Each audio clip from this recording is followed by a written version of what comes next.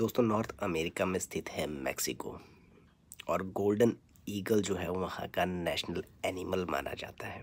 Golden eagle इतने ज़बरदस्त शिकारी होते हैं कि ये फॉक्सेस यानी लोमड़ियों का भी शिकार कर लेते हैं।